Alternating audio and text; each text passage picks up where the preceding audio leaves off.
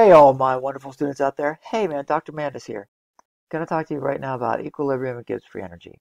Equilibrium is that special case where the forward and reverse rates are equal. So you have two things going back and forth, back and forth. Got a quick little reminder about delta G. Delta G is products minus reactants. So in this case, you're going to have two things of differing energy. You take the subtraction, get delta G, right? Not a big deal. But hey, remember, just a little bit about energy.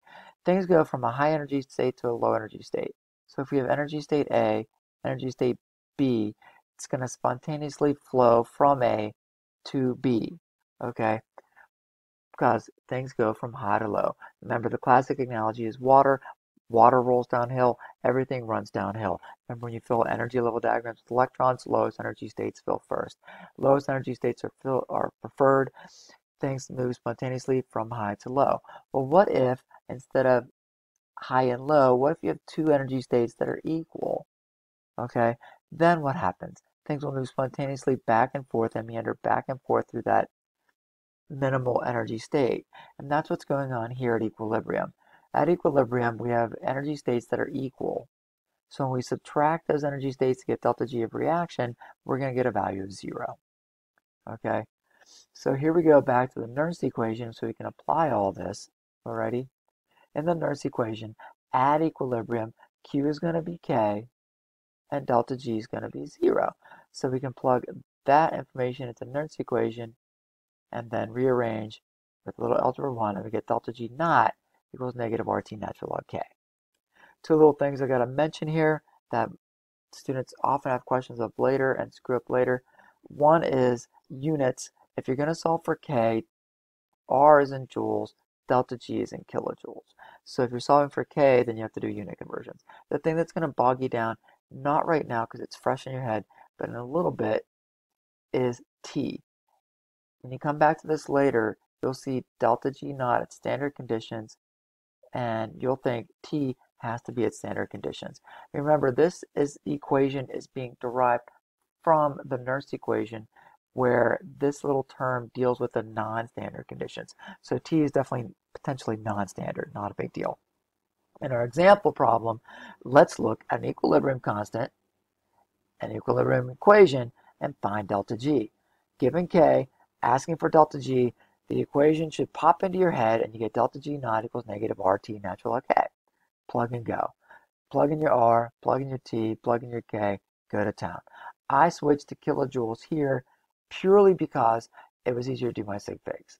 it was like 7.9, 7096, and I wanted two sig figs, so I switched to kilojoules. You could easily answer in terms of joules, not a big deal. One quick little application of this, phase changes. Phase changes at a point where the flow of energy isn't really happening here. It's an equilibrium gig, true. Phase changes are definitely equilibrium. You think, hey, no, sir, Bob. Well, yes, sir if you think of a cooling curve, all right, at this little point in a cooling curve, we have equilibrium between solid liquid state? Maybe. We have kinetic energy constant? Definitely. We have potential energy decreasing? Definitely. Well, what if the flow of energy is constant? What if we get don't have that cooling curve and we get rid of this aspect of the cooling curve and we just say, hey, all we have here is the melting. okay? We don't know which way we're going. We don't know whether we're melting or freezing. It's hard to say. Potential energy is constant. Kinetic energy is constant. We're just having a flat back and forth, back and forth. In that case, delta G is zero, all right? Because the energy of the products and the reactants are equal. So if we use the Gibbs free energy equation, we can sub in zero and get zero equals heat of fusion T delta S. How does that apply to the equation? Let's do our last example real fast. At what temperature does cyclohexane melt, given a heat of fusion and entropy of fusion? A lot of students hesitate, don't know exactly where to go on this. But you say you should say, hey, all I have H, S, T. I have these guys. I know it's not really T now it is. So write the equation that involves those variables. And you think to yourself, well, where am I going to get delta G from? Pay attention to the verbiage they're talking about something melting. Understand in your head, hey, phase changes are equilibrium. So in this case, delta G is zero. So that's code giving me delta G.